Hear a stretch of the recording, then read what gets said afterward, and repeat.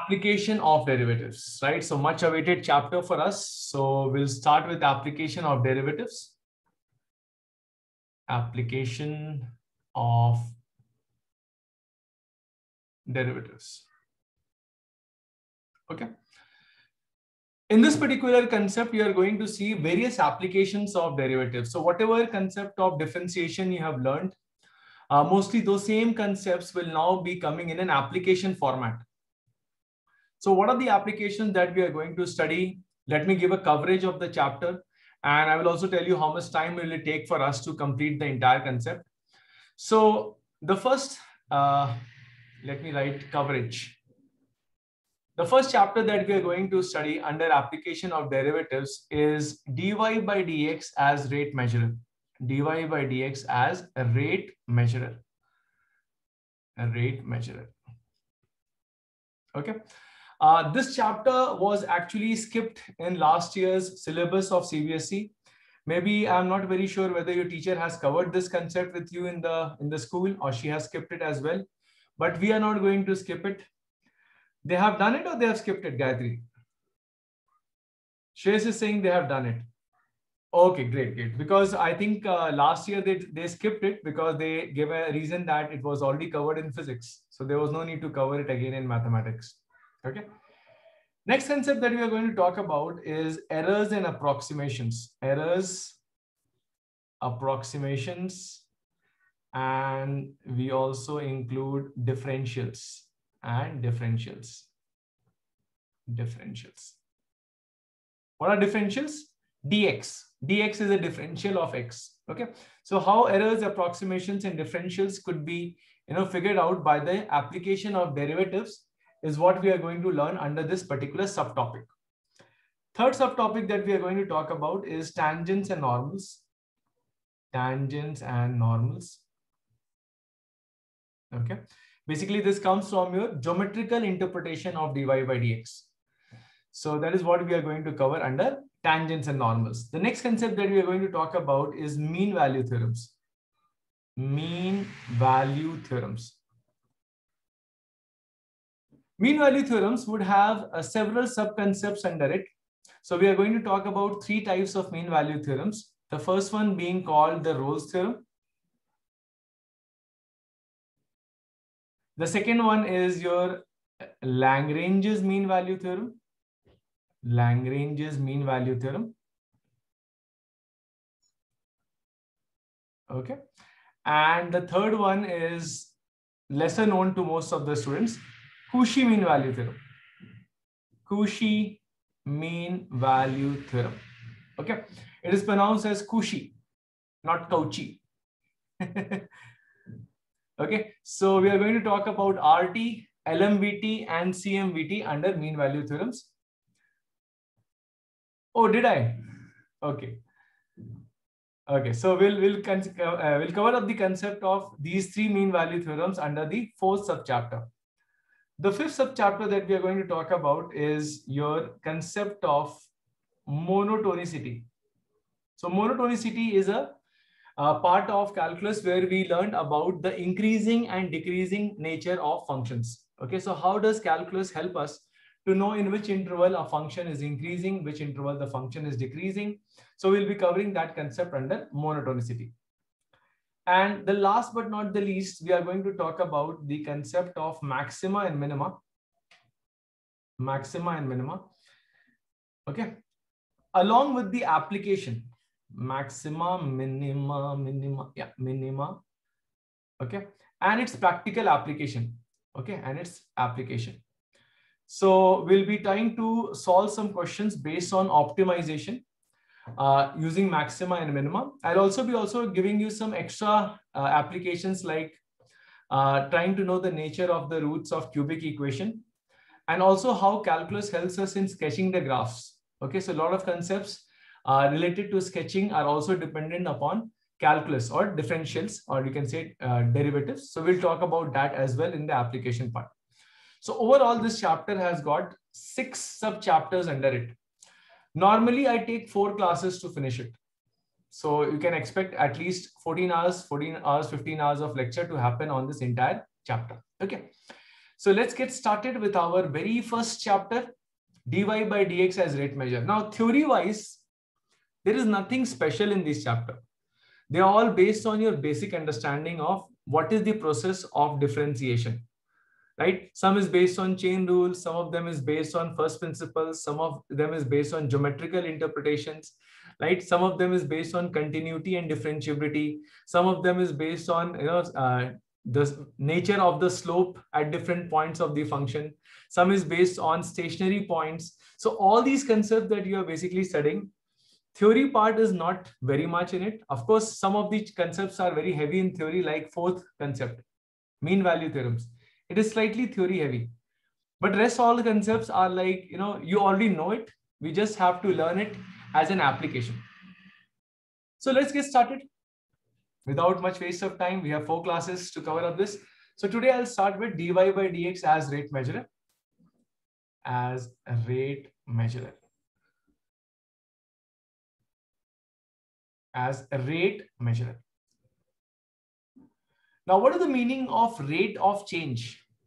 What is the meaning of rate of change? I would like to know from you people. You have done it in school. What is the meaning of rate of change? Change with respect to time, isn't it? So when you say rate of change of displacement, ds by dt, okay, that is your velocity, rate of change of velocity, acceleration, rate of change of acceleration. What is rate of change of acceleration? Jerk, right? All those kind of things. Not a nice word to use, by the way. Anyways, so dy by dx as a rate measurer, basically what we are trying to learn is that when there is a function which relates two variables, x and y with each other. So x and y are variables which are interconnected by this particular, uh, you can say function or relation, whatever you have it. Then how do you, then how do you link dy by dt how is it related to dx by dt? Okay, that means if there is a change happening with respect to time in x, how does it influence the change in y with respect to time or vice versa? If there is a change in y happening with respect to time, how does it change the uh, no, value of x with respect to time? So in order to find that, you will say, sir, simple, we already know this process. You just have to perform the derivative on both the sides with respect to time right? Exactly. So when you differentiate both sides with respect to time, remember you are going to use chain rule here. So first you are going to differentiate f of x with respect to x and then into dx by dt. So guys and girls, I would like to recall this particular thing. This is just chain rule, right? So this entire concept is based on chain rule. That's it. Nothing new is basically learned here. Okay. So when you figure it out, you basically end up getting the rate of change of y as f dash x times the rate of change of x. But mind you, one very, very important thing I would like to tell you, these all are instantaneous changes. These all are instantaneous changes. These all are instantaneous changes, means they are calculated at a given instant. Okay. So dy by dt, f dash x, dx by dt, they all are calculated for a given instant. Okay maybe some x value will be known to you okay? Maybe some you know another another parameter which is helping you to find out this instances is known to you. Let me give you an example to make this part clear. What do i mean by instantaneous changes? See uh, all of you have celebrated birthdays correct? And all of you have blown uh, air into a balloon right? Everybody has done it. Have you experienced that when you're blowing air into the in the in the balloon initially the radius becomes larger at a very you know less amount of time. So the increase of the radius with respect to time is very high. But later on when it becomes substantially big and you're pumping pumping pumping pumping it becomes slowly slowly slowly slowly bigger right? So you realize that the rate of change of the radius is not uniform throughout right? Let's say when it was small it was dr by dt was fast. Slightly bigger it became dr by dt became slightly lesser more it, your radius became, it became more less, right? So what happens is that your dr by dt itself is basically dependent upon what is the radius at that instant of time, isn't it? Maybe the volume, the rate at which you are putting, blowing air inside the machine, uh, into the balloon, that is fixed because of course our lung capacity is fixed, right? We cannot blow like machines, right? So let's say we are blowing at a rate of 100 centimeter cube per second but the radius initially will go very fast and later on it will just slow down. Okay. So that is what is meant by when we are trying to find out these rate of changes, we are basically looking at at some instant of X or some instant of time. Okay. Let us do problems based on that and then you will understand it in more detail. Uh, let's take a question, very small question to begin with, very simpler one. let's say I have this question.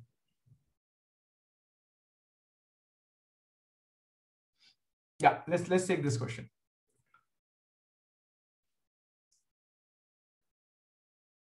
Yeah, the question says if the radius of a circle is increasing at a uniform rate of 2 centimeters per second, find the rate of increase of area of the circle at the instant. Read the word at the instant.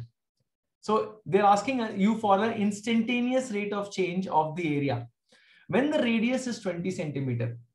Now, before you start solving this question, there are few steps that you should keep in mind.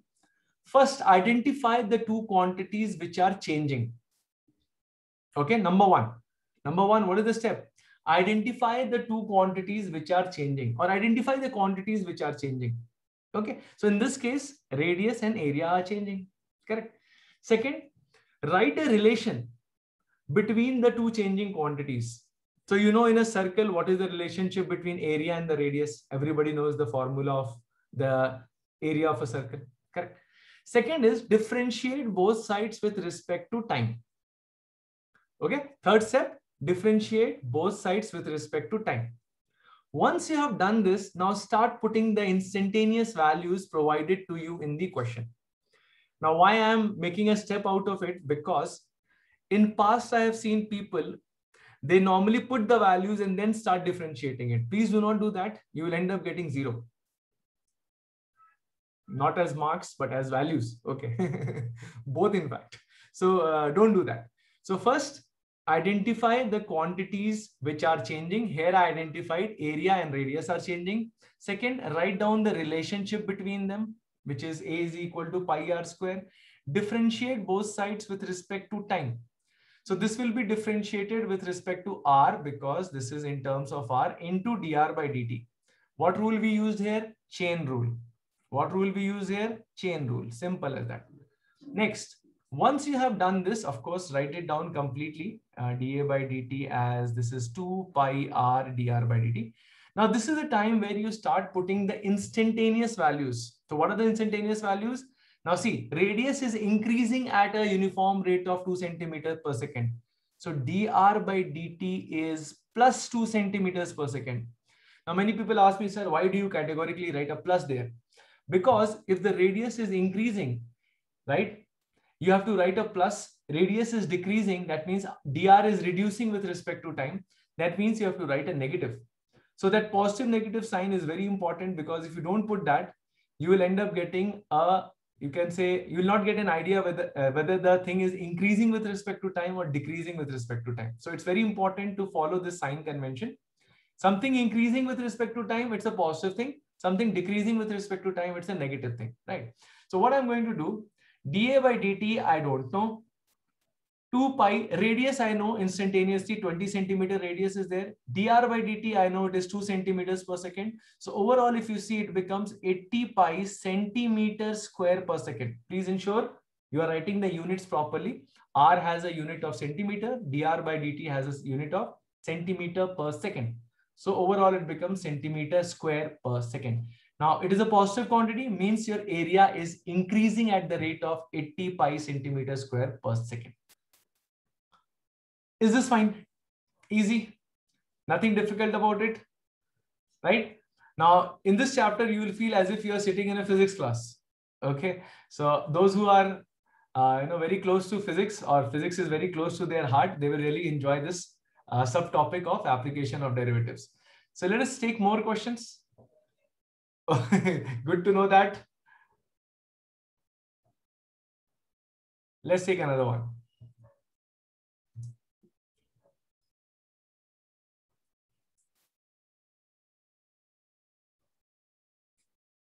Okay.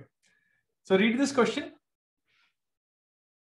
The question says, a man who is 6 point, 1.6 meter tall walks away from a lamp which is 4 meters above ground at a rate of 30 meters per minute.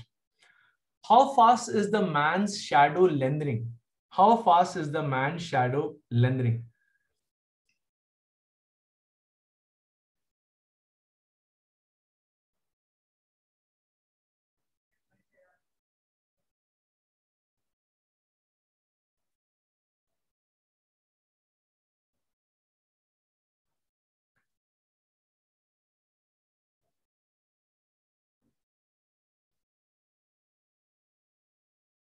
I want everybody to try this out and give me a response on the ch uh, chat box.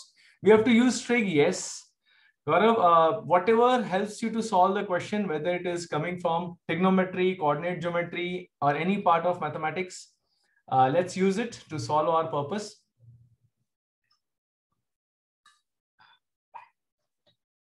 Okay, Charan.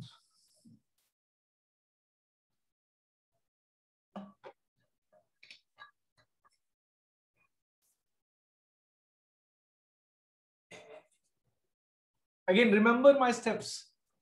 First, identify the two things which are changing. Then write the relationship between the two things which are changing. Then differentiate with respect to time throughout. And then put the instantaneous values. Simple as that. No brainer. This is no brainer actually. दिमाग लगाने का etch नहीं है. Okay, Gayatri, very good.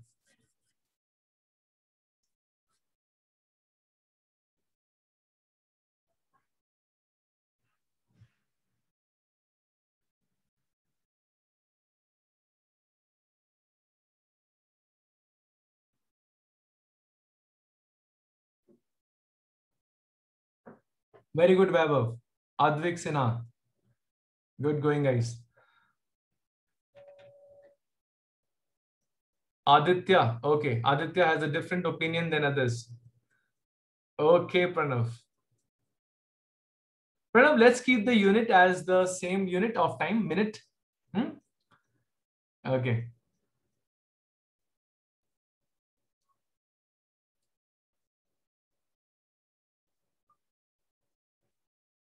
Guys, one more minute. This is not a difficult question. I'm sure in your school also you would have done a similar question. Okay. So I'm getting almost three to four types of answers. I don't know why.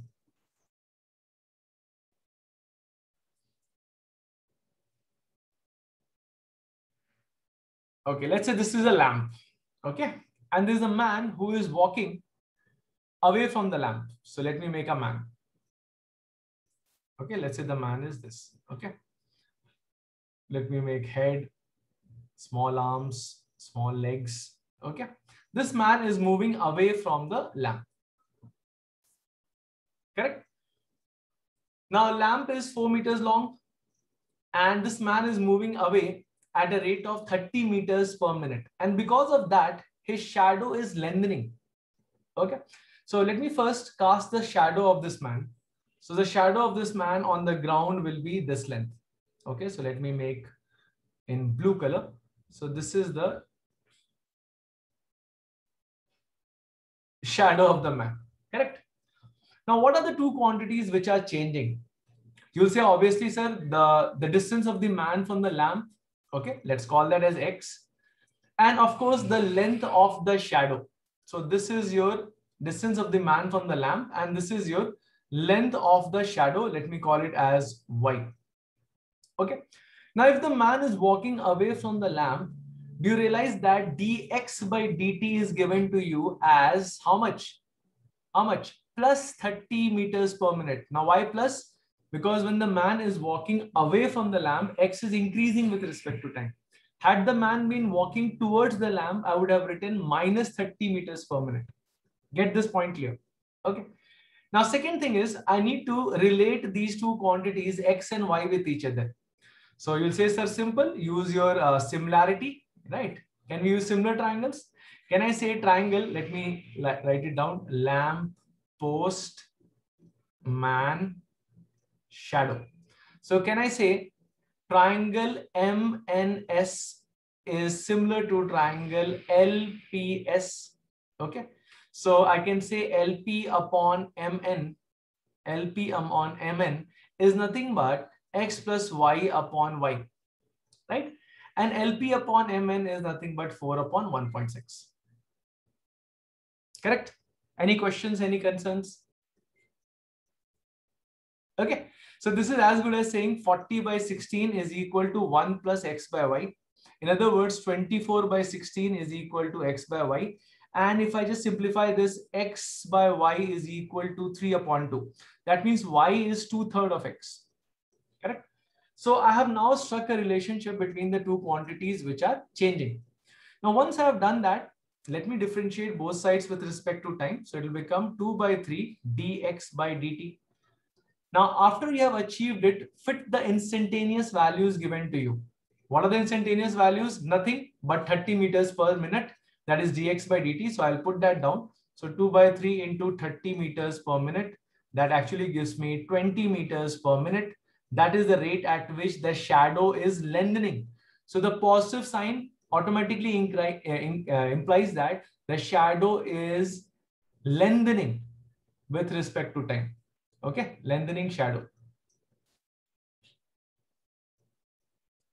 Is this fine? Any questions, any concerns? So those who gave 20 meters per minute, okay, please do not change the unit. Some of you have started giving me answers in per second, but keep the unit as the same unit as given in the question.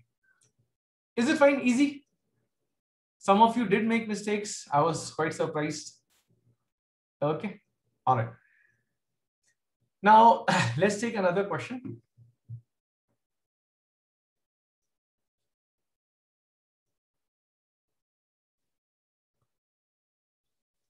Let's take this question.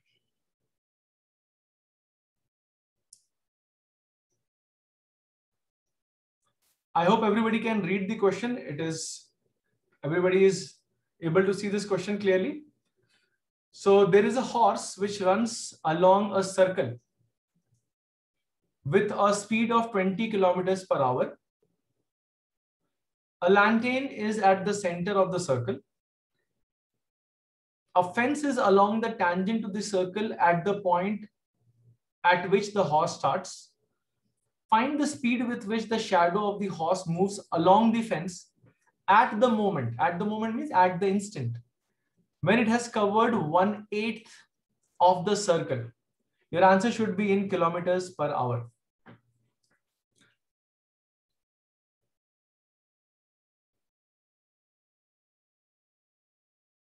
Please do it. Please try it out.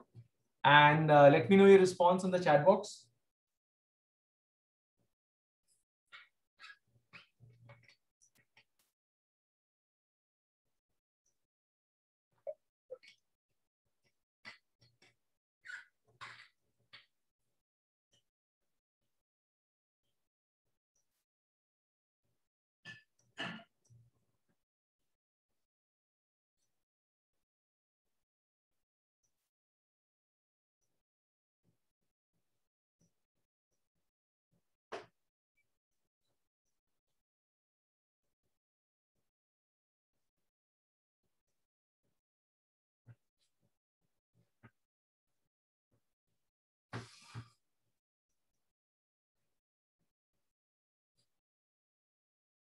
Question is clear to everybody. Is the question clear to everybody? See, the question is, let's say there is a horse which is running on a circular path. Okay. It has been tied by some rope to the center of the circle and there is a light source being kept over here. Okay. So this horse, when it is running, it is casting its image on a fence which is, let's say, like this. Okay. So this is the fence. F-E-N-C-E. Okay. Now let's say the horse is at this position. Okay. So as you can see, because of this light source, it will cast its shadow over here. So this will be the shadow of the horse. Correct now. So let's say it was at this position. Because of this light source, there will be a shadow cast here. Correct. So my question here is, here is as the horse is galloping along this circular path, this shadow will also be running along the fence, correct? So shadow will seem to gallop on the fence or along the fence, correct? So at the instant when this horse has covered one eighth of the circle, what is the rate at which the shadow is basically moving along this fence? Okay, this horse is galloping at the rate of 20 kilometers per hour.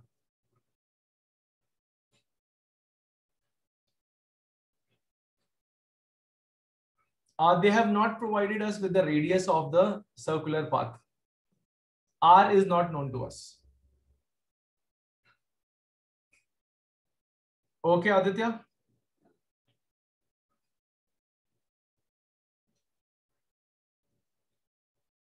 Anybody else?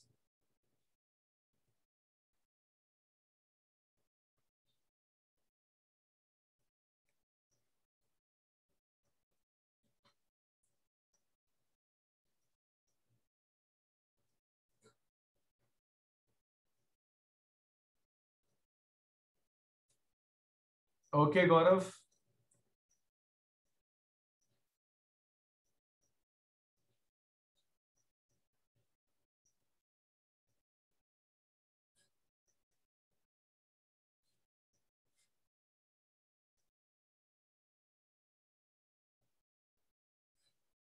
Pranav.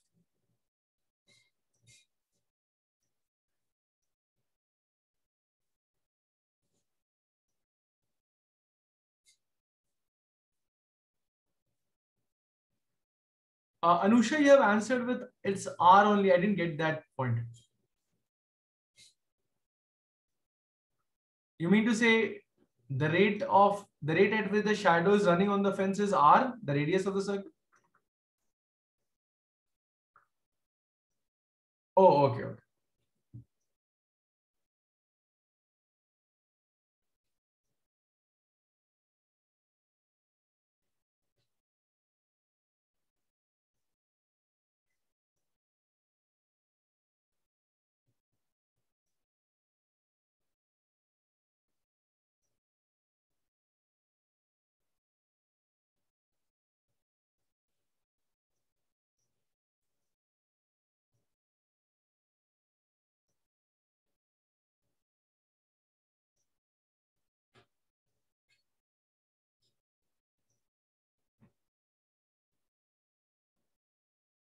I think four of you have answered so far, and your answer is, I think so, it is correct. We will check it out. Kshitij also has answered. Very good. Kshitij, Pratik.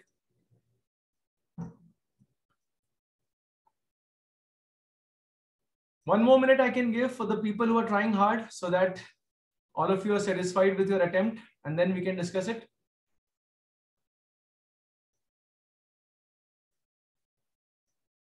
Okay, Anusha.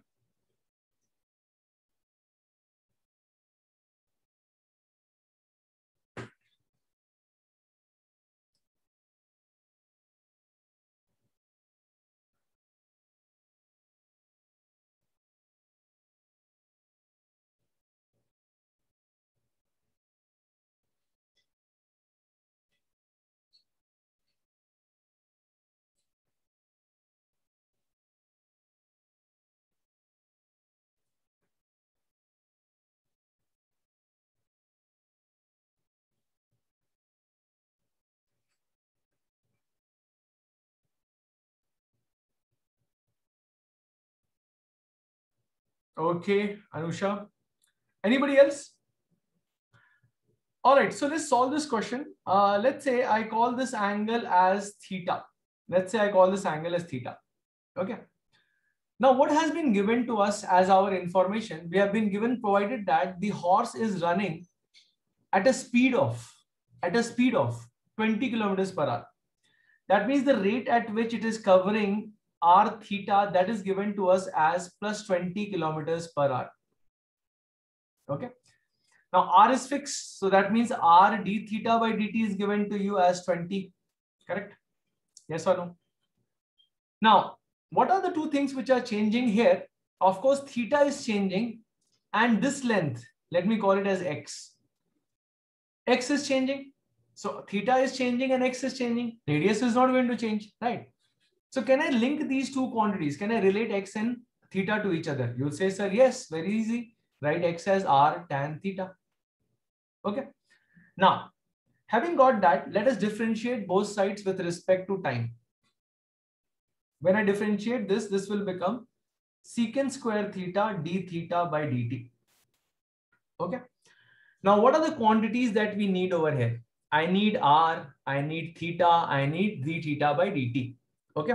And dx by dt can be obtained after I plug in those values. But there is no separate r, no separate d theta by dt given, but we have been given a combined r into d theta by dt, which is actually 20. So can I say this into this is actually a 20. So it is secant square theta into 20. And what is theta? Now look at this information. When the horse has covered one eighth of the circle, one eighth of the circle means he has covered 45 degrees. That means theta at this instant of time. So let me write it down. Theta at the instant of time is pi by 4, which is 45 degrees. So put it over here. So secant square 45 degrees into 20. Secant square 45 degrees is 2. 2 into 20. Answer is going to be 40 kilometers per hour. That means the shadow of the horse is running at twice the speed, 40 kilometers per hour. Is it fine? Correct. And if you realize as theta approaches 90 degree, the speed of the shadow will become infinitely big. right? Of course, we are not going to calculate for that theta equal to 90. So you won't be able to see the shadow. It will be so fast. and if it crosses 90 degree, your shadow will not be visible at all. Okay. Shadow cannot be seen.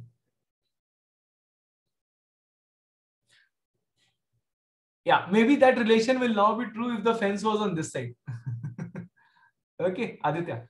So this is uh, no, uh, one of the questions that comes normally, shadow-based questions. So we are taking going to take different varieties of questions. Let's take the next one.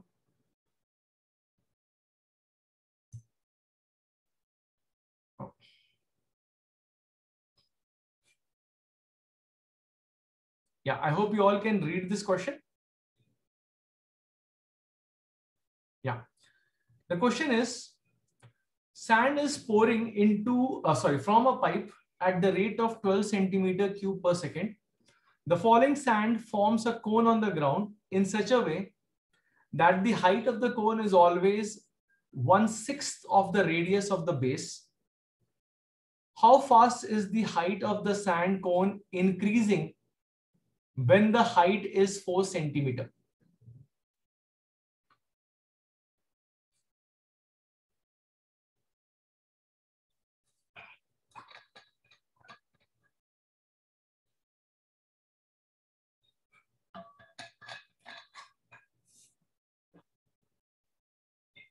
So I hope the scenario is clear to you all.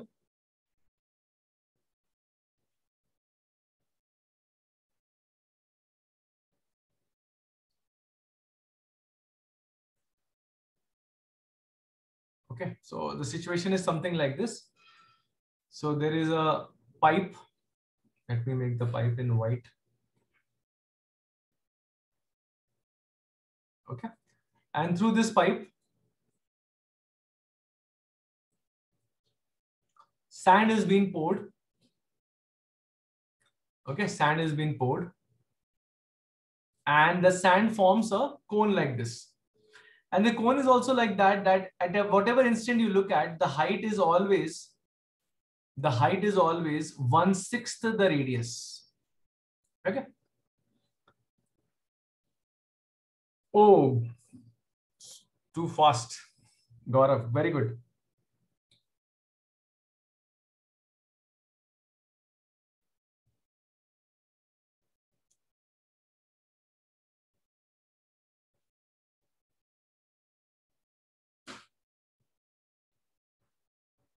Oh, okay, okay. Don't worry, we are just doing the basics question first, and then we'll slightly complicate scenarios. Okay. Okay, Pranav, Gurman, very good. Who else? Gaurav, Gurman, Pranav so far.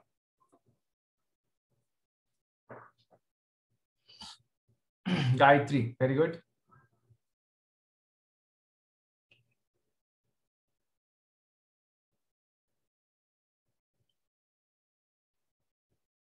Very good, Hariharan.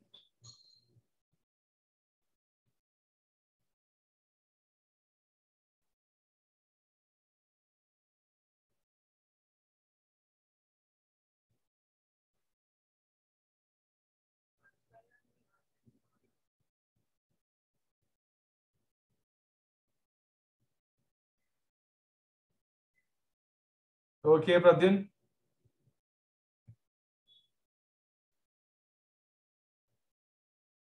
Pratik, Vaibhav. Okay, guys, chalo, we'll discuss it now. First of all, what are the two things which are changing? You'll say, sir, uh, the volume is changing, of course, because the sand is constantly being poured. And because of that, radius and height is also getting changed, isn't it?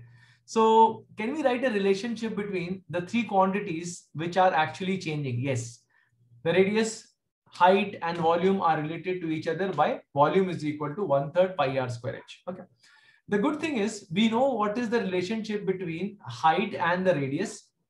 And now look at the question. The question is basically trying to ask you, what is the rate at which the height is changing at the instant when the height is 4? So at this instant when the height is 4 centimeter, how far is the height is changing. So it will be advisable that we convert everything in terms of h on the right side. So I will remove my radius and write 6h in place of that. Okay.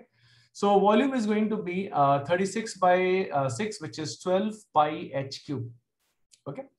Now, once you have got that, you can start differentiating both sides with respect to t. So this will be 12 pi 3h square dh by dt. Okay. Now start plugging in values. So what are the values? dh by d, dv by dt. dv by dt is already provided to you in the question.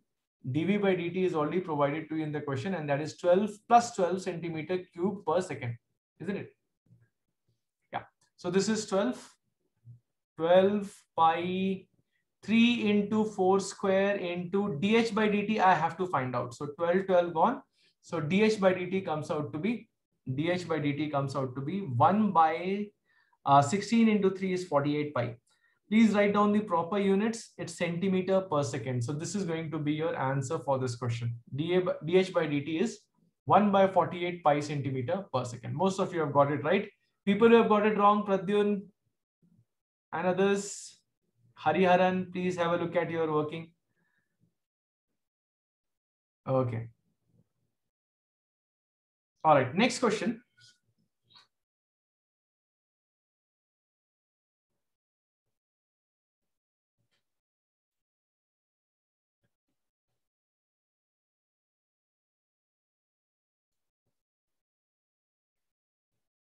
Next question is, two men P and Q start with velocities u at the same time from a junction of two roads. Excuse me inclined at 45 degrees to each other. If they travel by different roads, find the rate at which they are being separated. Find the rate at which they are being separated.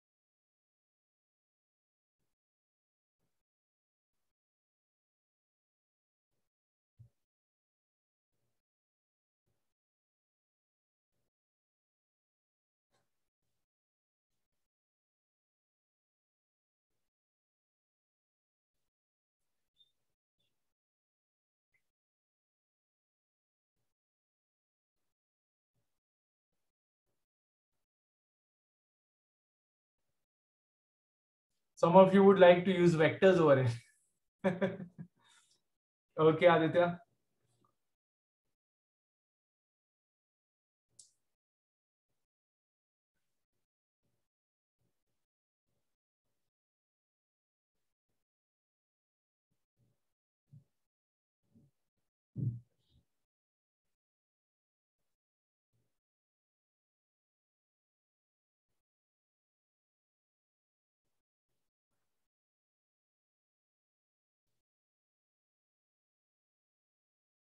Right, Hariharan. So most of the concept that you have already done in physics, we are learning it right now in hmm. mathematics.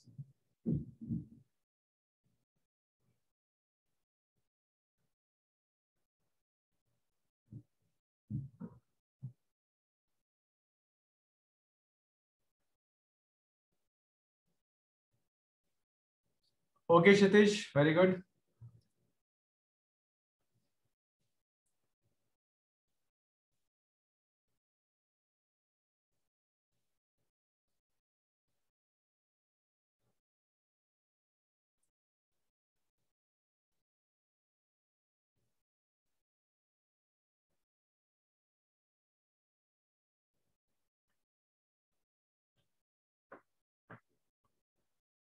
Okay.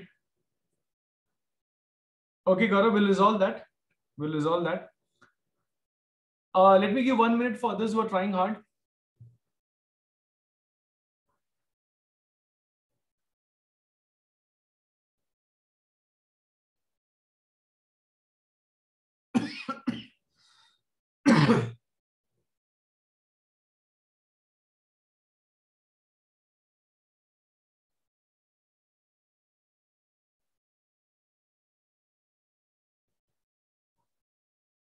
Okay, let's discuss it. Let's discuss it.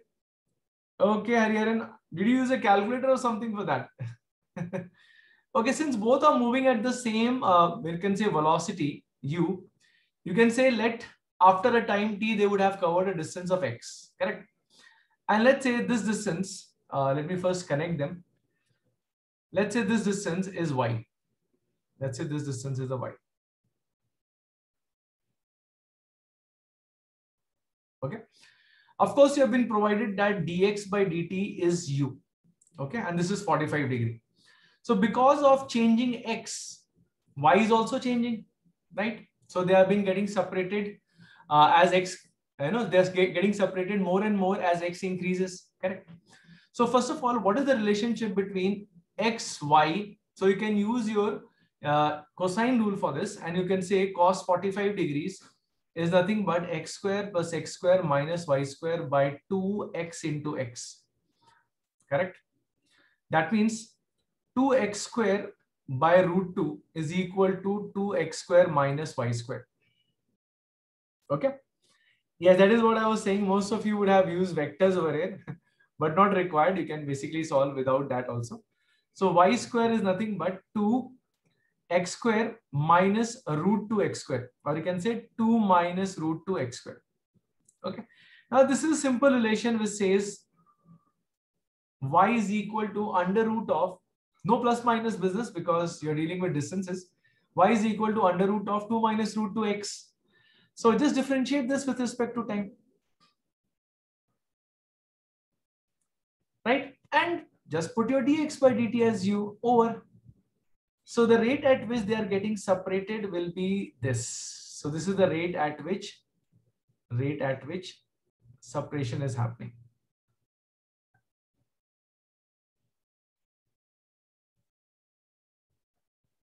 Okay, so this is your answer. Any questions?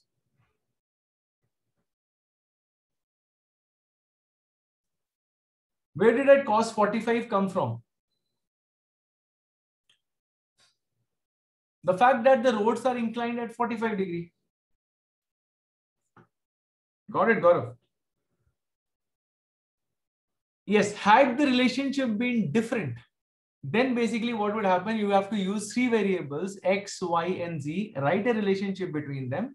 And now when you're differentiating both sides, you would need instantaneous values of x, instantaneous values of y, and dx by dt and dy by dt. Got it? So dz by dt will come from there. Clear, Aditya? Okay. Next. Now I have a very uh, you know special question for you. I will not be writing too many things here. Just listen to this question. Okay. The question is,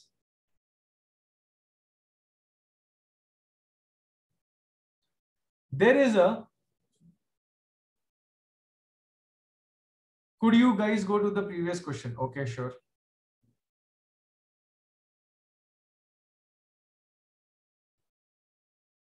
There's only one guy here. Charan.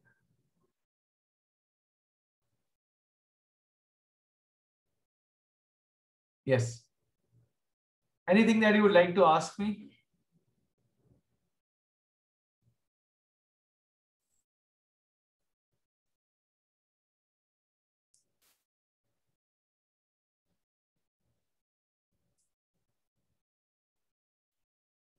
Done. Okay. Thank you. Yeah. So now this is a wall. Okay. This is a wall and this is the ground. Okay. This is the ground. And this is a wall. Okay. There is a ladder. There's a ladder which is actually taller than this uh, you know wall and it is basically like this. Okay? So it is it is having some part protruding over the wall. It is having some what? Uh, part protruding over the wall. I'll give you the dimensions. This wall is 7 meter long. This wall is 7 meter long. And the length of the ladder the length of the ladder is 15 meters.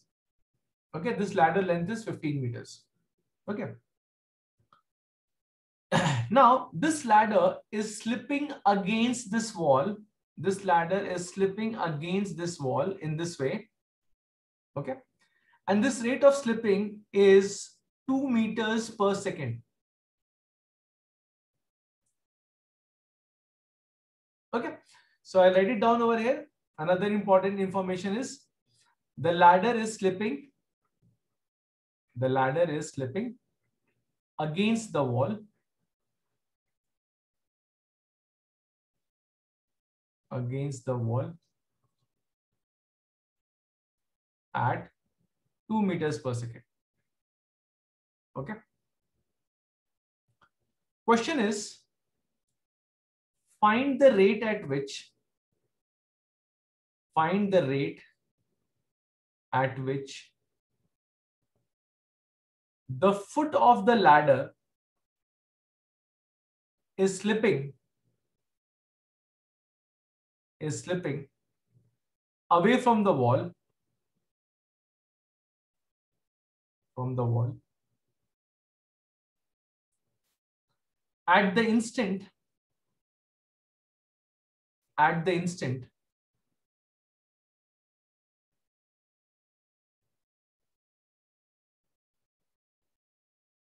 at the instant the projection of the protruded part of the ladder along the vertical ladder along the vertical is 3 meters.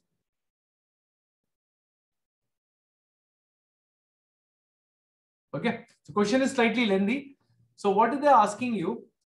They're asking you what is the rate at which the foot of the ladder is slipping away. This is moving down constantly at a rate of 2 meters per second. So what is the rate at which this slipping is happening when, when the projection of the protruded part along the vertical at the instant when this guy is 3 meters. So hmm. at the instant when this length is 3 meters. Okay, I'm not writing anything over there because you'll start thinking that that is a fixed value. No, that is changing. So at the instant when this guy becomes 3 meters, what is the rate at which the foot of the ladder is slipping away from the wall? Is the question clear to everybody? If not, I can explain you once again. 7 meter long wall, 15 meter long ladder. Ladder is basically protruding over the wall and it is slipping like this. Okay. It is slipping like this. This contact is never broken. Okay. This contact is never broken. So this is slipping against it at the rate of 2 meters per second. And because it is slipping, this ladder is slipping from the ground as well. The rate at which it is slipping against the wall is 2 meters per second. Find the rate at which the foot of the ladder the foot of the ladder is slipping from the wall at the instant the projection of the protruded part is 3 meters.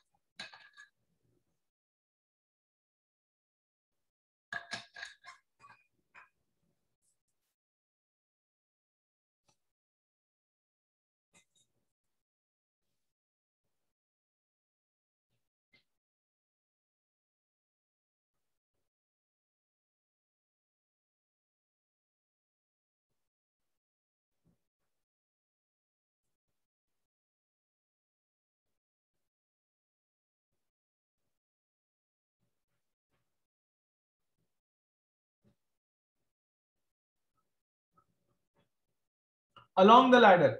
Hariharan, the slipping is along the ladder. That's why I've shown it categorically. The ladder is going down like this at a rate of 2 meters per second.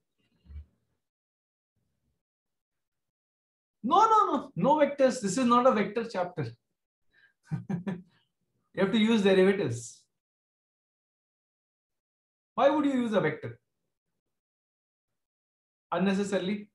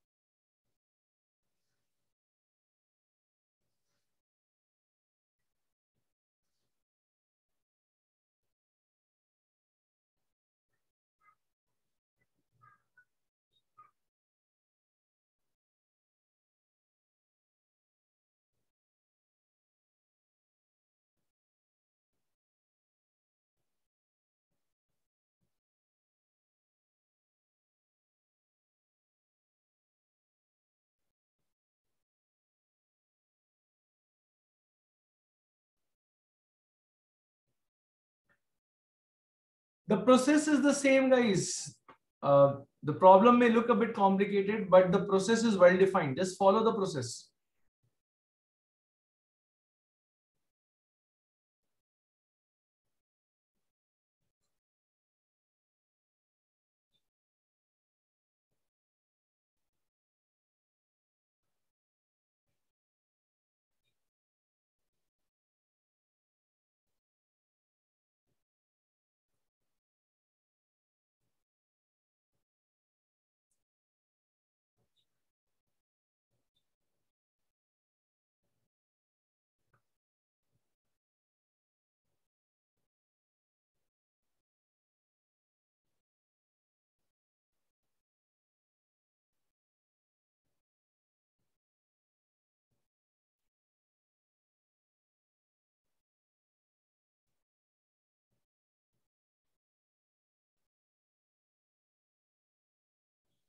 Anybody?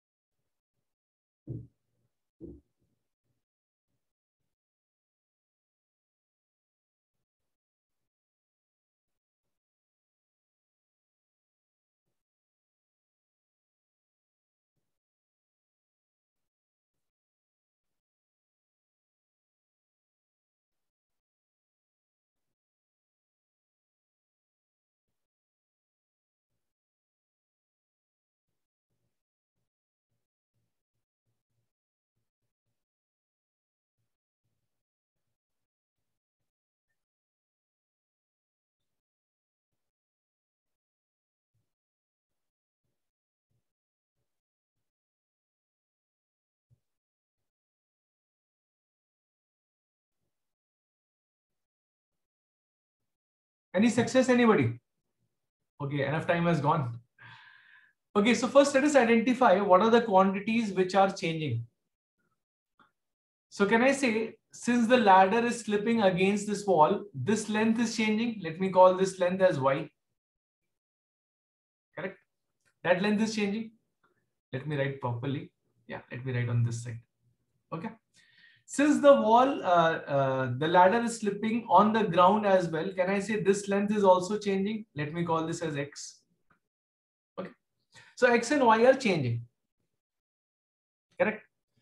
Now, the question says dy by dt is negative 2 meters per second because y is reducing with respect to time because the ladder is coming down and down and down, isn't it? Now, how do I strike a relationship between X and Y? Okay. Now, one thing I can do here is I have to also relate this projection. So what I'm going to do, I'm going to take this angle as theta. Uh, that means that that means this angle is also theta. Okay. So can I first write down a relation between X theta and Y theta and try to see what kind of a connection can happen between them. So from this figure, I can say x is equal to, or x by 7 is equal to tan of theta. So x is equal to 7 tan theta. Okay. Now, what I want, I want to know what is dx by dt at this instant where theta is something. Now, what is that theta? Which we don't know right now. Okay. At theta equal to something, right? We'll have to figure it out. We'll have to figure it out. Now, what I need here is dx by dt. So that means I indirectly need 7 sec square theta d theta by dt. So without knowing theta and without knowing d theta by dt, I will not be able to solve this question. Correct? Okay. Now let's apply some more information given to us in the question. Um, if this is y, this length, this length is going to be 15 minus y.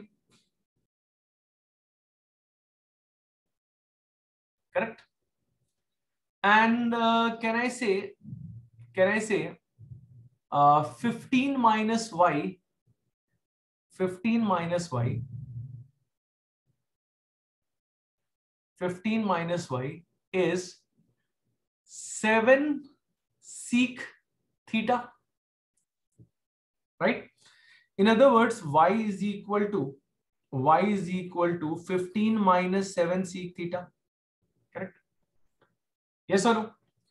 Now I'm looking at that instant where, where this length becomes 3. Now if you look at the upper triangle, uh, let me name it for your sake of convenience. Let me call it as uh, P, Q, R, S, T. If you look at the triangle PQR, you are looking for that instant where Y actually becomes 3 sec theta, isn't it? Because if the base is 3, y will actually become sec 3 theta, correct? So at least by comparing these two, I will get the instant of theta. I will get the value at which or theta at which I'm trying to calculate dx by dt. So when I relate these two, I will get this is equal to sec 3 sec theta, which means 15 is equal to 10 sec theta in short, I get cos theta is equal to 2 by 3, if I'm not mistaken. Okay. So this theta that I'm looking for, this question mark is basically achieved. That is actually cos inverse of 2 by 3. Okay, let me just segregate it from the question. Yeah. Now I need d theta by dt. How will I find that out? Very simple. Let's come back to the same expression over here. Differentiate it with respect to time. You'll end up getting minus 7 sec theta tan theta d theta by dt. So for this d theta by dt, I can use my this expression because I know dy by dt minus 2. I know sec of theta, which is 3 by 2. Acha, by the way, if cos theta is 2 by 3, what do you get as tan theta? If I'm not mistaken, this will give you uh, under root of 5 by 2. Am I right? If cos theta is 2 by 3, tan theta is under root 5 by 2. So this will be under root of 5 by 2 d theta by dt. Okay. So minus minus gone. So d theta by dt will become 8 upon 21 root 5 radians per second. Sorry, I missed out writing dt. Correct? So now I have all the wherewithals with me. I know the theta, I know d theta by dt. So what are we waiting for? Let's do the honors. Let's complete this. So dx by dt will become 7 sec square theta. Sec square theta will be 3 by 2 the whole square into d theta by dt is 8 by 21 root 5. Okay, let's simplify. I think 21 will get cancelled straight away here. This will cancel 2 and I will end up getting 6 by root 5 meters per second. So this is your answer to this question. How many of you got it? Aditya, does it come out to be the same? I think roughly yes. I think your answer is roughly correct. Is it understood? Any questions, any concerns?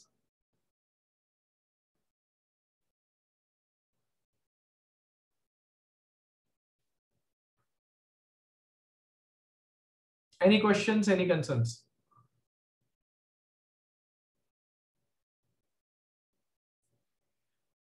Now, one question that I would like to ask you, to find d theta by dt, to find d theta by dt, why didn't I differentiate this guy?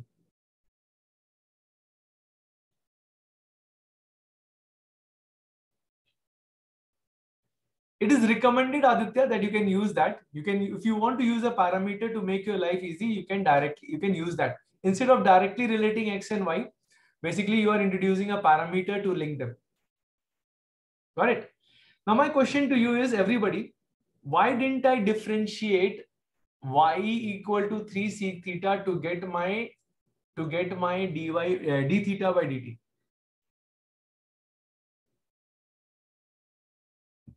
We cannot differentiate with respect to ty.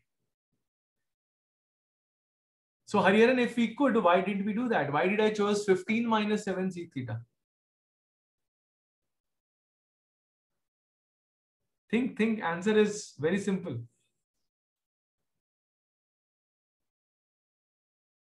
We are not concerned after that point in time. See, this is an instantaneous value. 3 is a fixed, cos theta is also fixed. So this is actually a constant for us because we are calculating it at an instant. This is an instantaneous value of y. This is a generic value of y. Get the point? Exactly, Pranav. Are you getting my point? This is a generic y value. That means if your theta keeps on changing, this guy will change your y as well. But this is a instantaneous value. So at the instant when that projection was 3, that is the y value at that time. So you cannot differentiate this. You should not be differentiating this. Are you getting my point? Because you'll get faulty results. Are you getting my are you getting my explanation? Why didn't I differentiate this to get my d theta by dt? Because the projection will not be 3 always. So this I use only to get what is my instantaneous theta. Because I needed it in my in my expression here, secant square theta. Right? So this is only useful for finding your instantaneous theta. But when you're differentiating y, you have to take this because this is a generic y and theta relation, no matter wherever is the wherever is the ladder. Got the point? Clear everybody? Okay. Next question. Next question is, there is a lamp, okay? There is a lamp which is 50 feet high. This is a lamp which is 50 feet high.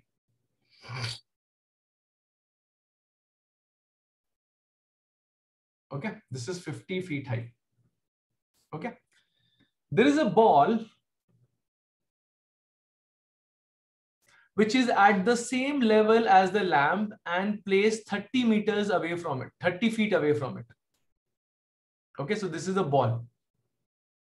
Okay, now this ball, when it is dropped, it covers a distance of 16 t square. Okay, so when it is dropped at a time t, let's say after a time t, it would have covered 16 t square after time t. Okay. My question here uh, to you is, my question to you is, okay, let me not draw anything here. My question to you is, find the speed of the shadow of the ball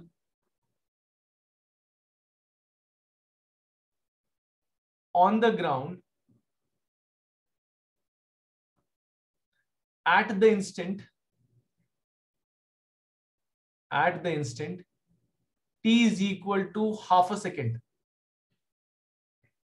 okay so what has happened? This ball is released, right? At the instant when t is half. At that instant of time, what is the speed at which the shadow of the ball is moving?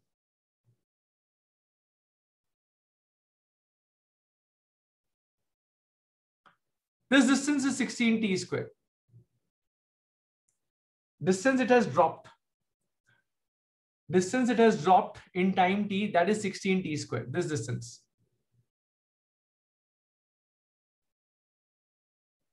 Okay. So let's say in one second, it would have dropped 16 meters, or sorry, 16 feet. So this is the distance it basically drops in one second. Okay. Two second, it would have dropped 64 feet. By the way, before two second, it would have hit the ground actually. Clear, Shitish? Is my question clear to everybody? So it is not half GT square like the way you would have thought it to be. Okay let's say it is a different uh, planet altogether where on free fall it covers 16 t square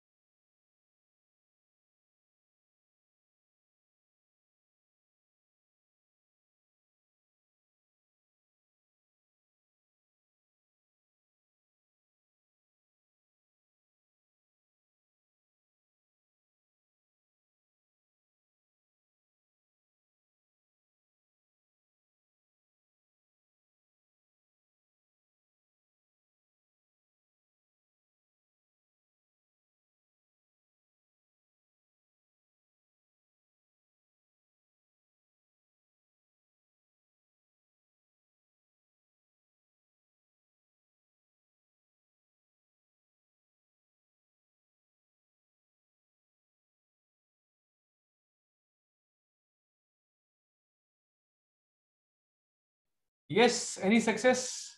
It's a big number. How big? In thousands? Okay, so yeah, that could be the answer. Why not? That could be the answer.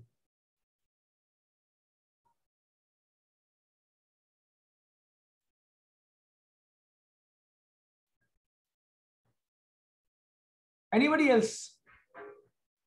Okay, Pranav.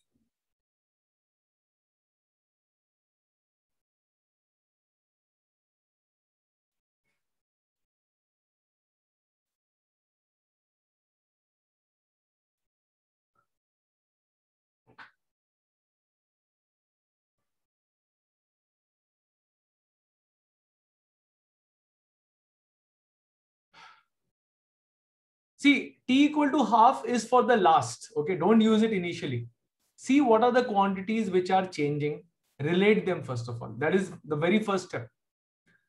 Once you have related it, then differentiate both sides with respect to time. And once you have done with that, then start putting the instantaneous values. Okay, before that, instantaneous values are of no use. Okay, Pranav. Okay, Pradyun.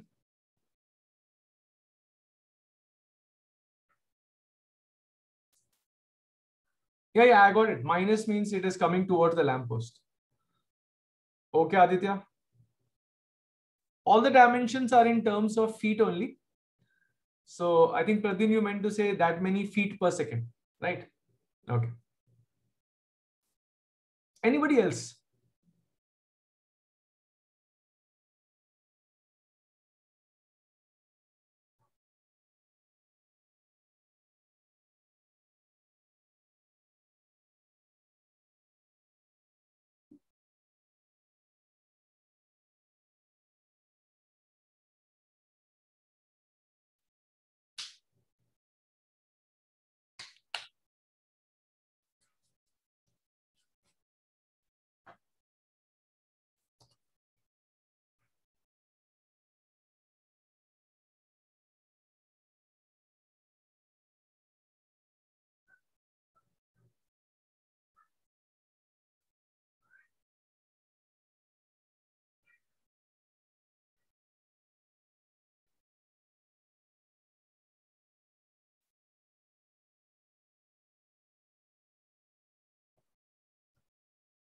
Okay, uh, let's discuss it out. Let's discuss it out. See, uh, if you see the image, the image of this ball on the ground will be here. Correct? This would be the image of the ball on the ground. Correct? So what is changing? You'll say this is changing. Let's say I call this as X Okay. And of course, this is also changing. Let me call this as y. So as the ball is falling on the ground, the height of the ball from the ground, that is changing. And this distance x is changing. Correct? Okay. Now, how do I relate y and x? Again, can I use my similar triangles over here? I can say this length, I'll just name it P and I just drop perpendicular from here, PQ. Uh, let me call it as LMN. So can I say triangle, triangle PQN is similar to triangle LMN. Okay. So PQ over QN is equal to LM over over Mn. Okay. Could you show it with trig? So am I not using trigonometry here? Triangle only, no? Correct?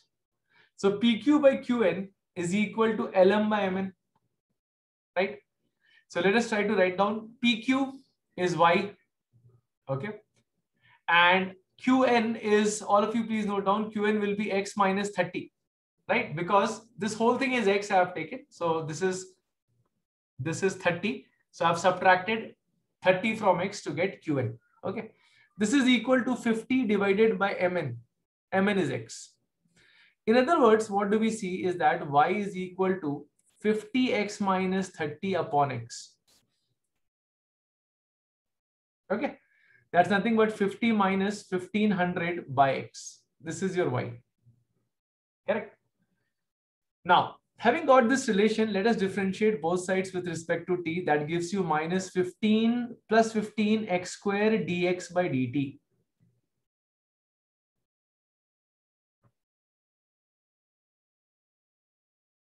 Correct? Yes or no? Now, do we know dy by dt? So first of all, what is y? y is nothing but it is 50 minus 16t square. So dy by dt will be nothing but negative 32t. And you have to find the instantaneous value of this at t equal to half. That means minus 16 feet per second. Okay. So this is known, minus 16. What is x? What is x?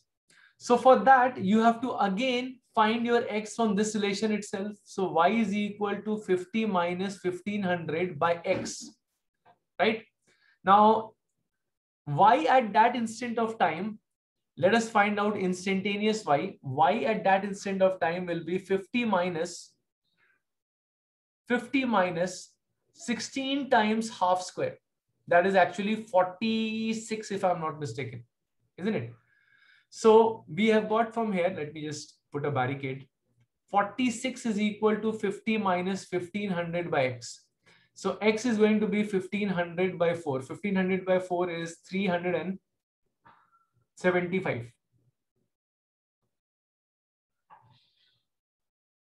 Correct? So let us try to put here. So this is minus 16. This is 1500. This is 375 square. 375 square, I will write it as 375, 375. dx by dt, I don't know. Okay, let's try to simplify. So this will go by a factor of 4. And this also goes by a factor of 4. So you'll have minus 4 over here. So dx by dt is anyways minus 4 into 375. That comes out to be minus 1500 feet per second. So the shadow is traveling towards the lamppost or the speed of the shadow on the ground is minus 1500. That means it is moving towards the lamppost. So you can say 1500 feet per second towards the lamppost. Is it fine? Now, most of you could not solve this question. I could get answers only from, I think, Pradyun, Kshitij, and later on Pranav.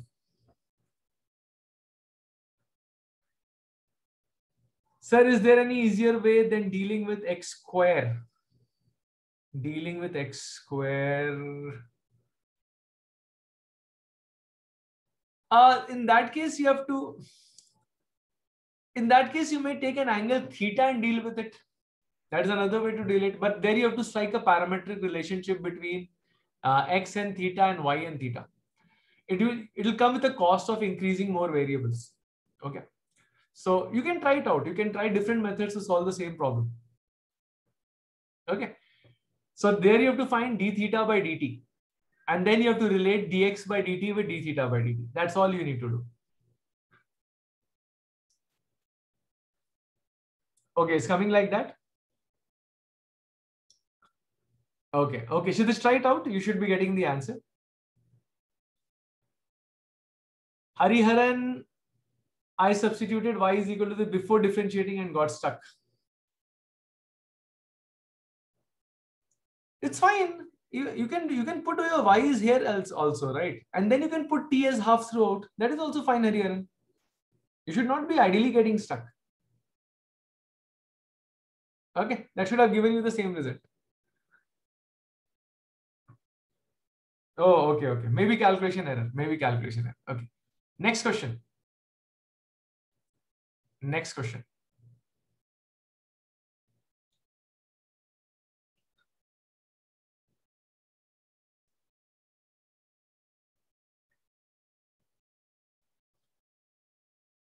Okay, the question says uh, there is a comprehension. Okay, it says that there is a lamp of length 10 meters placed at the end of a ladder AB. Maybe it is not to scale because as per the question, this lamp should be of length 10 meters. So this is 10 meters. Okay, it's not to scale by the way. And the ladder is of length 13 meters, which is leaning against a vertical wall as shown in the figure.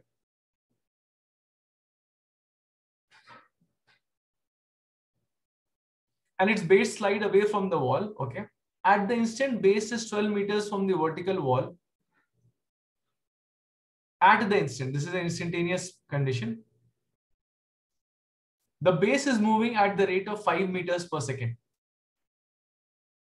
Okay. And there's a man of height 1.5 meters standing at 15 meters from the vertical wall. So this gap is 15 meters.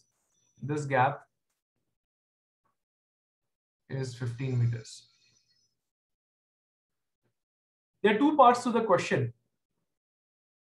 There are two parts to the question. Find the rate at which theta decreases when the base is 12 meters from the vertical wall. Okay. Second is the rate at which the length of the shadow of the man increases when the base is 12 meters from the vertical wall. So let us solve the ninth part of the question first. Give me a response for the ninth part.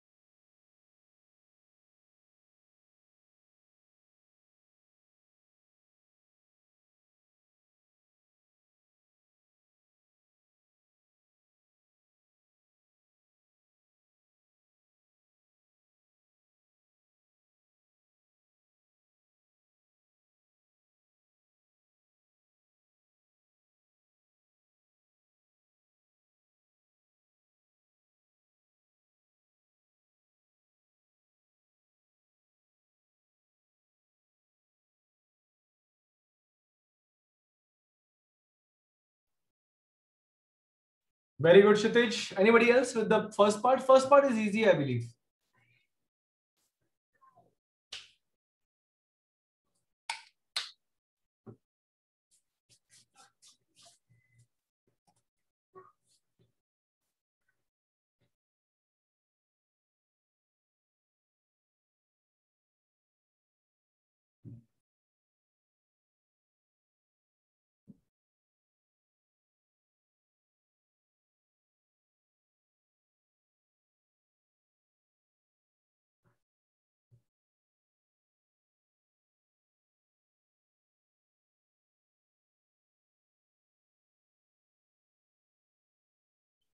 Okay Aditya.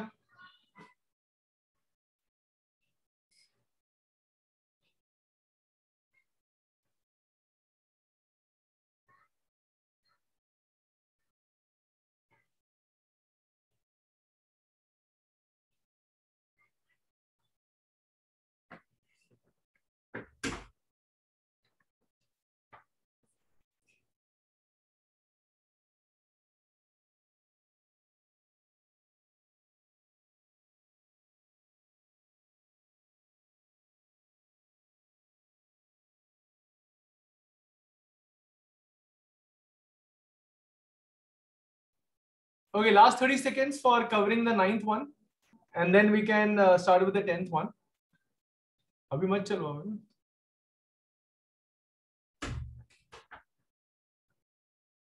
Okay, Vaibhav. All right, so first part, ninth part, let's look into this. See, in the ninth question, just focus on the ladder part because they're asking you how is the uh, angle theta changing with respect to time when this ladder is slipping away, right? So what are the two things which are changing here? That is the foot of the ladder. Let me call it as, let me write it in green. This is X. Okay. Yes or no? Correct. And theta. And theta. Correct. So how is your X and theta related to each other? So we'll say simple. X is going to be 13 cos theta. Correct.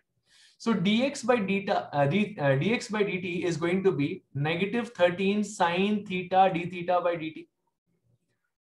Now they're asking you for that instant when this x becomes 12, when this x becomes 12. When x becomes 12, this guy is 5, isn't it?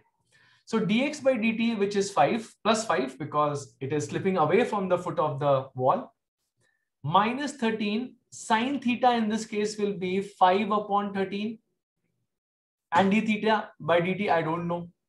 Okay, so automatically from here you can get d theta by dt as negative 1 radians per second. Now this basically means theta is decreasing at a rate of 1 radian per second. Since the question is already asking you what is the rate at which theta decreases, so your answer will be 1 radian per second, option number A. Is it fine? So there is no problem with question number nine. Anybody having any issue with question number nine? Okay, let's work out 10th part.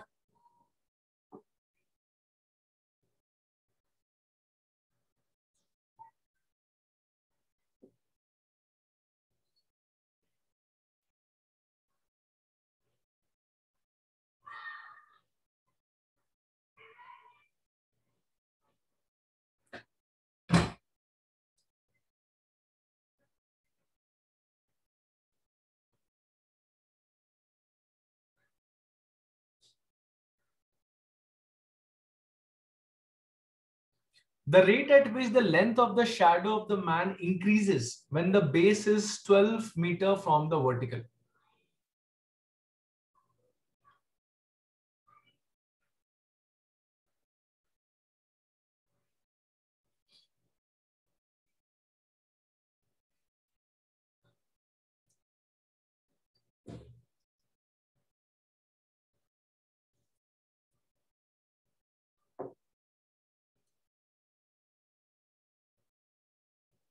Okay, Kshitij.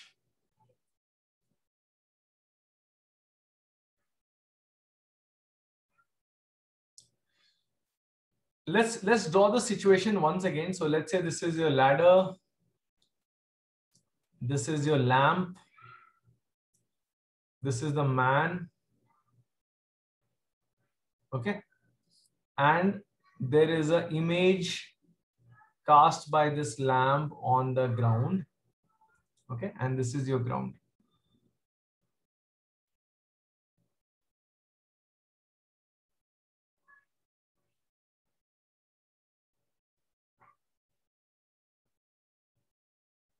Okay.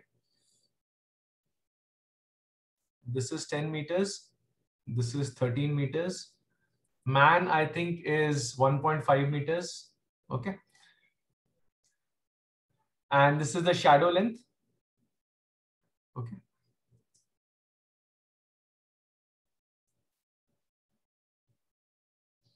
So what are the two things changing? X is changing and Y is changing, right?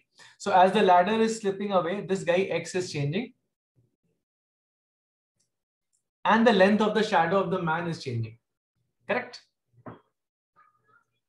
So we want what is the rate at which the length of the shadow of the man is changing at the instant x is 12 meters. Okay, at the instant x is 12 meters.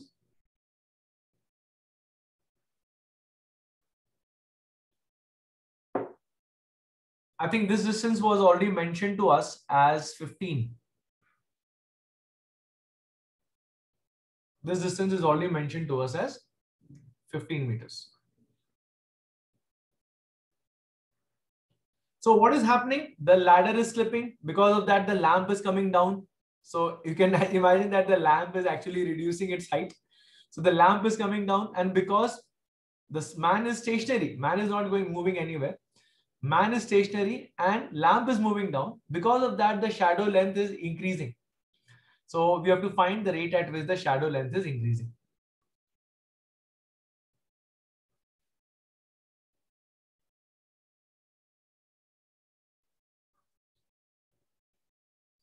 So I've got only one response so far, which is from Kshitij so far.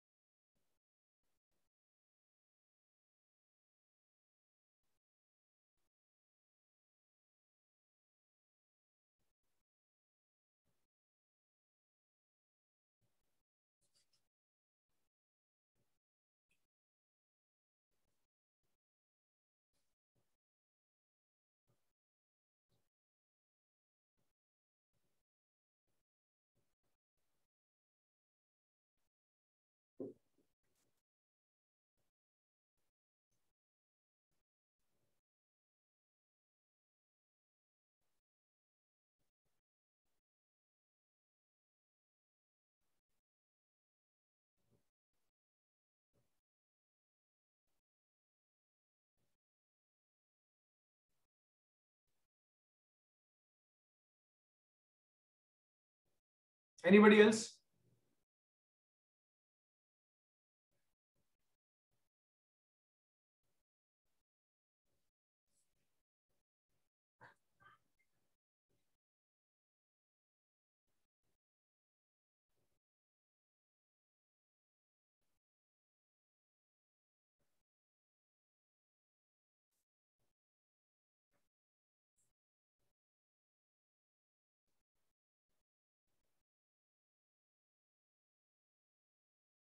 Okay, Pranav.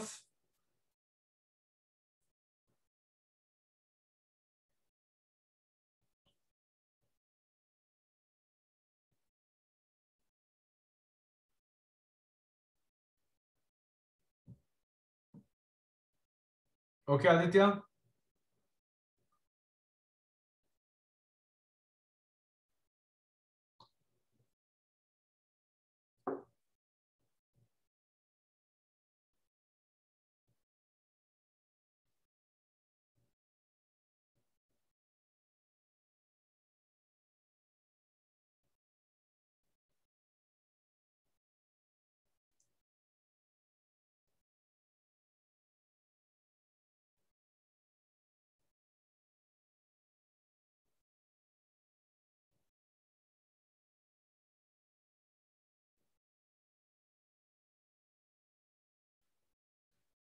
Okay, let's discuss it out. This is not a difficult problem. So let's say I call this, this particular length as Z.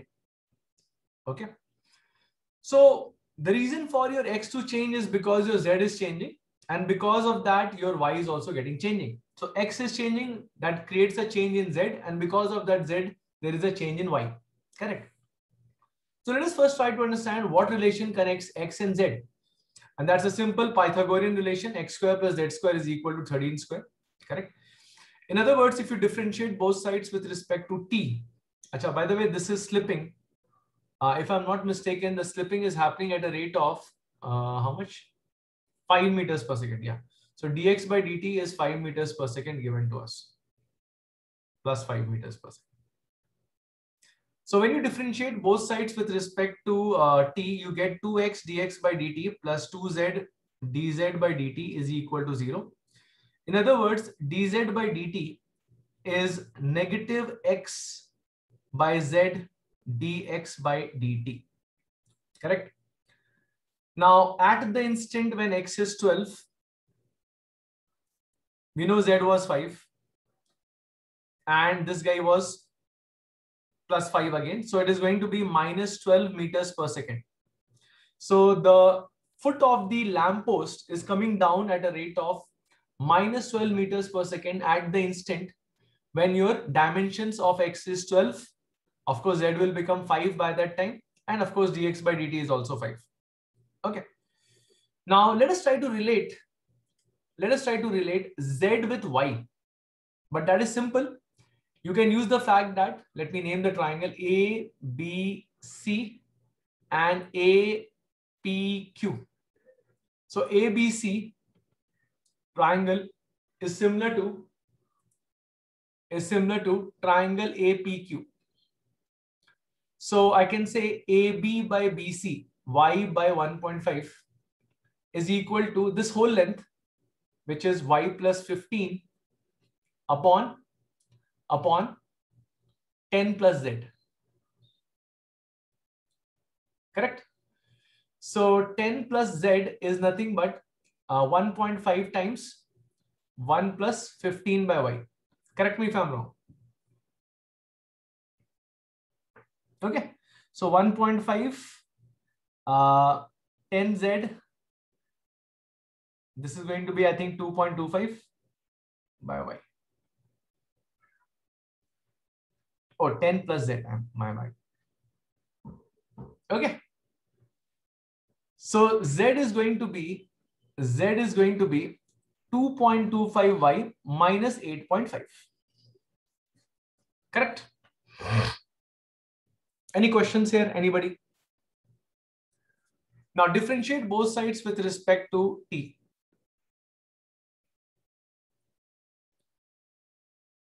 Oh yeah, 22.5.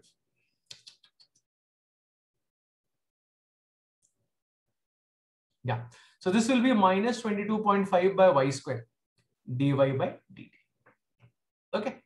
So let's try to put the values. So here I know what is my dz by dt. dz by dt is minus 12. Minus 22 by 5. y square I do not know. That I have to figure it out. Okay. So you can use this fact that at the instant when you're looking for the slipping, z was actually 5. Okay. So y will become, correct me if I'm wrong, 22.5 divided by 13.5. Okay. So this will become minus 22.5 divided by 22.5 square and 13.5 square. Okay, this is equal to minus 12. Some terms will get cancelled off. So your answer, oh, sorry, dy by dt, I forgot. Minus minus will also get cancelled off. So your dy by dt will become 12 into 22.5 divided by 13.5 square. Correct me if I'm wrong. I think this will go by a factor of, uh, you can write it as 120 into 225 by 135 into 135. So this thing will go by a factor of 25 times. Okay, this is, I think, uh, 9. And this will be, I believe, uh, 6. No, uh, 5. Will it go by 25? Or you can cancel off by, by 5 at least. So this will be 45. And this will be uh, 27. Okay. Again, uh, let's cancel off by 5. This will be uh, 24. This will be, this will be 27 again. Let's cancel off by 9. Uh, no, I can cancel off by 315 and this is going to be 9. Okay, so this will be 3, this will be 8, this will be 5. Oh, 40 by 27. A bit of calculation towards the end. 40 by 27 meters per second. This is the rate at which the shadow is going to grow, which is option number B, which is option number.